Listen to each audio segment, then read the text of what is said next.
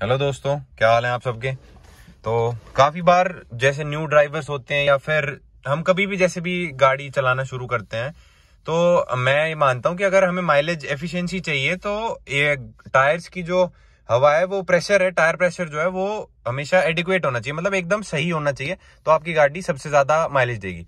तो उस चीज़ के लिए काफ़ी लोग कंफ्यूजन होती है, कोई थर्टी थ्री तैतीस करवाता है, कोई पैंतीस करवाता है। तो इसका एक शॉर्ट शॉर्ट इलाज की मतलब कि क्या सही है, तैतीस डलवाए या पैंतीस, क्या सही है? तो उसके लिए अब मैं आपको एक चीज़ बताता हूँ कि हर कार के अकॉर्डिंगली उनमें दिया होता है, जैसे कि मैं आपको दिखाता हूँ, आप अपना राइट साइड का जो डोर खोलेंगे, उसके वहीं पे एक स्लिप लगी होती है। अगर आप देख पा रहे हो तो पूरा टायर प्रेशर की, और एक एक चीज़ आपको एग्जैक्टली समझाई होती है कि टायर प्रेशर कितना अगर रखें और इन केस जैसे आपने यहाँ देख रहे होगे, यहाँ पे टायर का साइज़ दिया हुआ है। अगर आपका टायर साइज़ में थोड़ा सा डिफरेंस 16 इंचेस ही हैं बहुत लेकिन अगर आपने उसकी डायमेंशन में अगर मान लो 205 वाला डलवाया या 215 वाला तो उसके अकॉर्डिंग कि कितनी उसमें टायर प्रेशर होना चाहिए। ठीक है? तो उसके अंदर यहाँ जैसे दिया हुआ है कि यहाँ पे अगर आप देखोगे तो थर्टी थ्री अगर आपका नॉर्मल फाइव और सिक्सटी आर सोलह का टायर है, और अगर पंद्रह साठ आर सिक्सटी आर सिक्सटीन का है तो थर्टी थ्री ही होना चाहिए।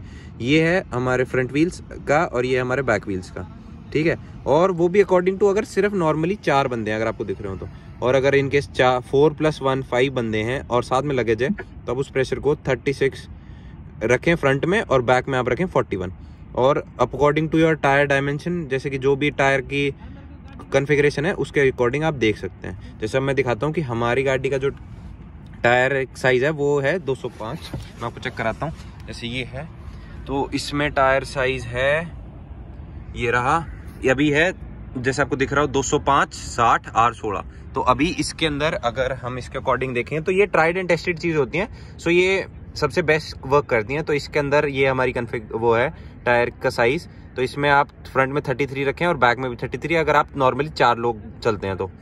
और इनकेस अगर आप चार फोर प्लस वन हैं एंड साथ में लगेज भी कैरी कर रहे हैं तो आप फ्रंट में 36 एंड बैक में 41 आप यूज़ कर सकते हो।